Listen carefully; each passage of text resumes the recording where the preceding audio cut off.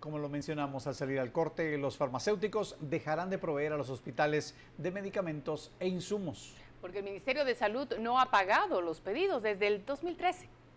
Desde 2013, las autoridades han arrastrado una deuda de 313 millones de quexales a las farmacéuticas que proveen medicamentos e insumos a la red hospitalaria. Ante esto, anunciaron que no entregarán más pedidos hasta que sea pagada en su totalidad. La deuda está dividida en 209 millones de quexales en medicamentos y 104 millones de quexales en material médico quirúrgico. De no atender nuevos pedidos, el sistema de salud podría quedar desabastecido.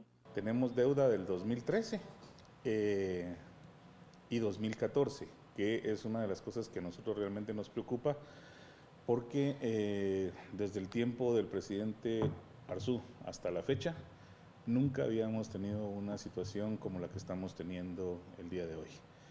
Eh, nos adeudan 313 millones más o menos, 209 eh, millones en medicamentos y el resto es a nuestros amigos del área de médico quirúrgico.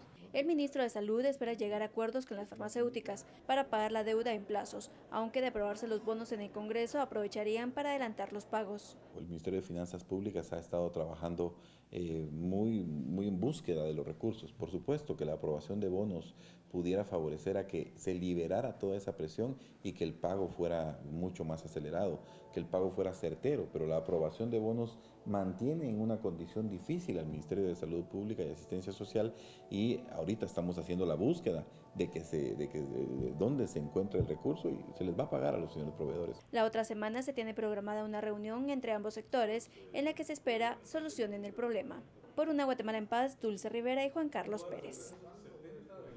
Y la Procuraduría de los Derechos Humanos indicó que el sistema de salud está atravesando nuevamente por una crisis por la falta de pago y trabajadores, a trabajadores debo decir, y a proveedores de medicamentos e insumos. Además, por el desabastecimiento en algunos centros hospitalarios. En el caso del cierre de la maternidad en la zona 13 para colocar una clínica para pacientes con ébola. Consideran que se pudo encontrar un lugar más idóneo. Creo que debió de haberse buscado un espacio mucho más idóneo, ¿verdad?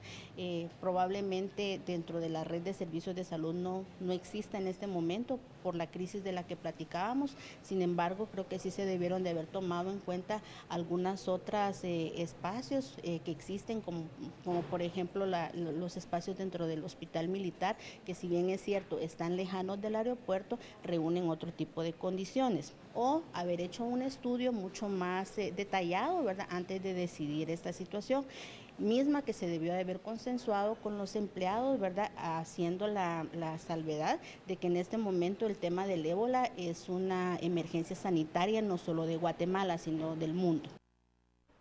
En el caso de los trabajadores del Ministerio de Salud que no han recibido sus salarios desde hace siete meses, el ministro indicó que se les pagará a plazos a excepción de 2.000 personas por problemas en el contrato, debido a que el anterior ministro no realizó la gestión. Ante esto trascendió que Jorge Villavicencio podría ser denunciado penalmente por incumplimiento de deberes.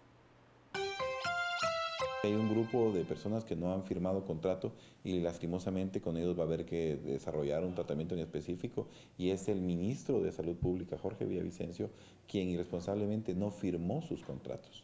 Con todos aquellos que tengan firmado su contrato, a ellos se les va a cancelar su salario. Y es un compromiso que tenemos adquirido y ya se tiene la previsión del recurso con el que se va a contar para hacer efectivo ese pago. Y el Ministerio de Gobernación también está en crisis financiera, principalmente con la escasez de gasolina. El ministro Mauricio López Bonilla negó que sea una estrategia del gobierno a manera de aprobar los bonos. Sí, bueno, mire, hay varios factores acá. Pero el de fondo es eh, que tenemos una crisis financiera del Estado, el presidente lo ha dicho, no están los recursos que se previó o que se preveía tener de acuerdo a una buena recaudación fiscal. La recaudación fiscal se ha venido a la baja, hay un problema ahí de fondo. Entonces tenemos asignado un presupuesto que no es el ideal, porque hemos tenido el mismo desde hace prácticamente cinco años.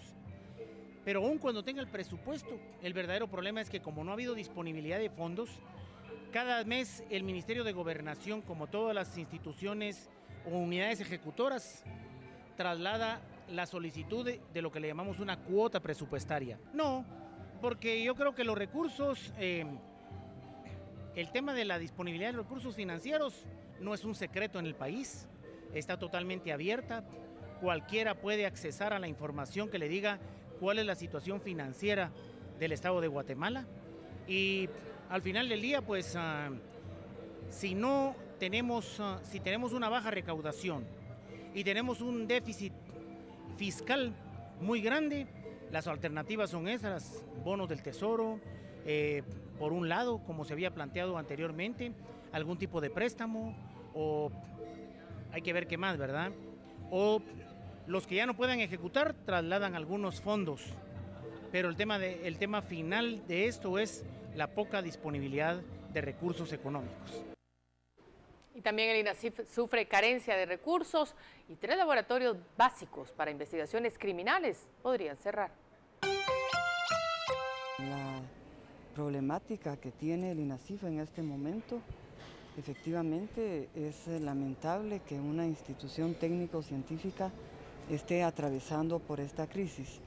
Decidimos redactar una nota que le vamos a enviar al señor presidente de la República y al señor ministro de Finanzas, quienes integramos la instancia coordinadora para la modernización del sector justicia, pidiéndole apoyo al INACIF para que no veamos merma en el trabajo que realizan, que no solo es de apoyo para la investigación que realiza el Ministerio Público, sino fundamentalmente para la víctima.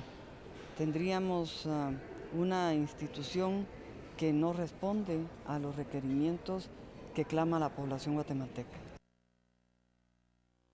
Vamos ahora al pronóstico del tiempo. MoneyGram, acercándote más, presenta. Buenas noches, qué gusto saludarlos. Mañana sábado tendremos ambiente cálido y húmedo. Esto podría generar lluvia dispersa con actividad eléctrica durante la tarde o parte de la noche.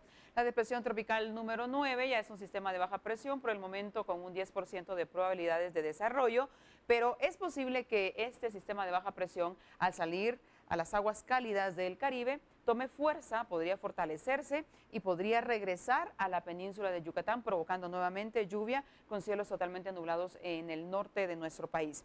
Vamos a ver las condiciones del clima. Esto mañana sábado, pues ya tendremos lapsos de sol, cielos parcialmente nublados, aunque estas condiciones también prevalecerán para el día domingo. No se descarta lluvia hacia el final de la tarde en todos los departamentos de Guatemala.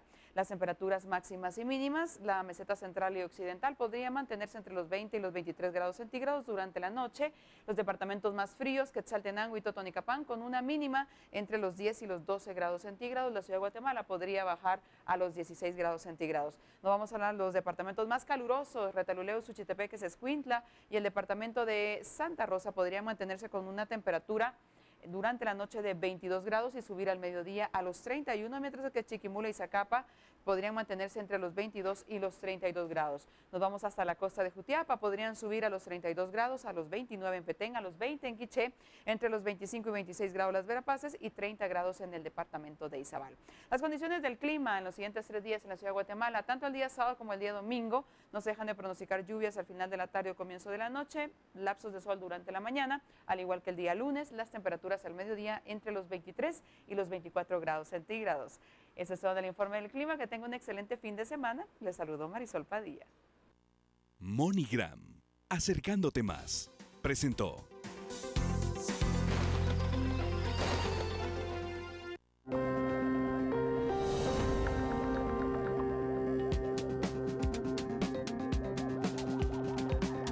Descubren plan de fuga de la cárcel de Jutiapa. tenemos todos los detalles cuando volvamos de la publicidad. Con esto y más, regresamos.